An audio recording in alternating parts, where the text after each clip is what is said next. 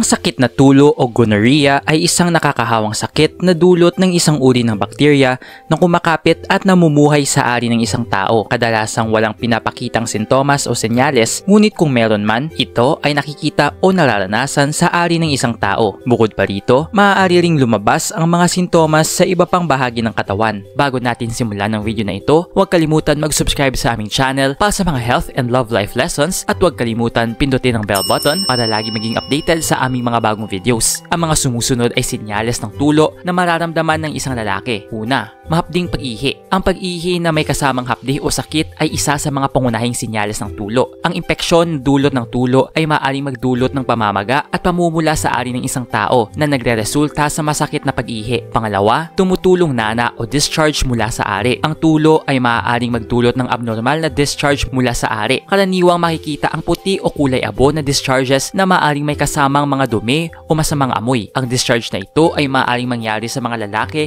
at mga kababaihan. Pangatlo, pananakit o pamamaga sa ari. Maaaring makaranas sila ng pamamaga at pananakit sa ari, partikular sa ulo ng ari. Maaaring magkaroon ng pamamaga na may kasamang pamumula at hapdi. Pang-apat, mainit na pakiramdam kapag umiihi. Ang isa pang posibleng sintomas ng tulo ay ang mainit na pakiramdam kapag umiihi. Ito ay isa sa mga sintomas na maaaring mapagkamalang UTI dahil ang mga taong may UTI ay maaari ding makaranas ng mainit na pakiramdam kapag umiihi. Kailangan mong bisitahin ang iyong doktor sa lalong madaling panahon kung mangyari ito. Panglima, conjunctivitis. Ang gonorrhea ay maaari ding makahawa sa mga mata ng isang tao. Ito'y lalo na kung ang kanilang mga mata ay nalantad sa mga likido mula sa ari ng lalaki. Ito ay maaaring magdulot ng conjunctivitis. Isang pangangate ng conjunctivita o ang malinaw na tissue na tumatakip sa eyeball. Nag-enjoy ka ba sa video ito? Please hit the like button and subscribe sa aming channel para sa iba pang video tulad nito. Salamat sa panonood.